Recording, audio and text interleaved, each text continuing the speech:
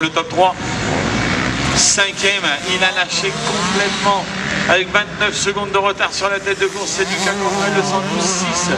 Alexis Langlois, le 494, 7. Nicolas Sedler, le 69, 8. Thomas Covert, le 91, 9. Axel Landy, le 23 et 10. Toujours Matteo Martignoni, le 421.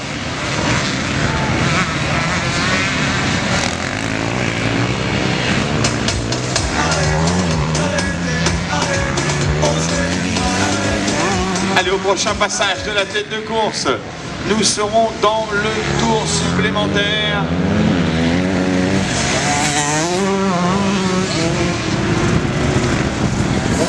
Allez, on attend cette tête de course avec ce dossard. 767, Jérémy Goyer. Le voilà, le voilà Jérémy Goyer, l'entrée dans le bois. La fin du temps réglementaire, le panneau un tour dans les mains de la direction de course. Ça sent bon la victoire de manche pour le retour sur une moto. Allez, le voilà, top, panneau un tour. Un tour à tenir.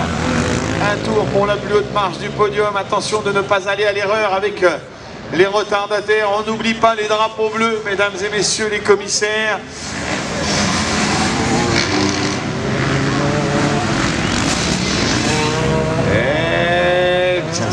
Me semblait. C'est bien ce qui me semblait que Manu D était aux commandes. C'est bien ce qui me semblait qu'il y avait eu du changement. Que s'est-il passé sur le haut du tracé Manu D qui a pris les commandes ce dossard 155 de Jérémy Goyer, le 767, 3 toujours Jason Val, le 747. Allez, à deux minutes, drapeau à damier.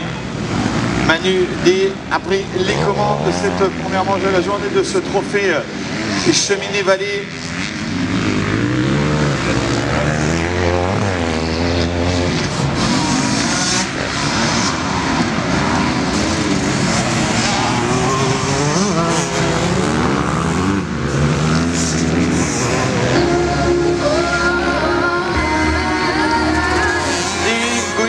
vallées. Val le tiercé de tête pour le moment à 40 secondes de l'arrivée.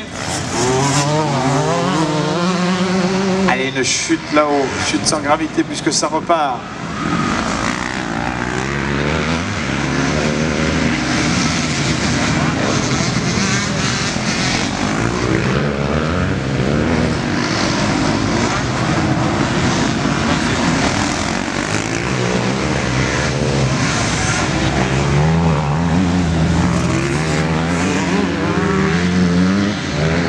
les attend. Des Goyer, Goyer, des qui ressortira du bois le premier pour aller chercher le drapeau à damier.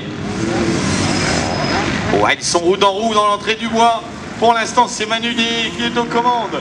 Ce dossard 155. Les derniers hectomètres, la sortie du bois dans 20 secondes 10. Ouais, c'est bon. Et ça tient. Ça tient pour euh. Le 155, deuxième Jérémy Goyer, le 767.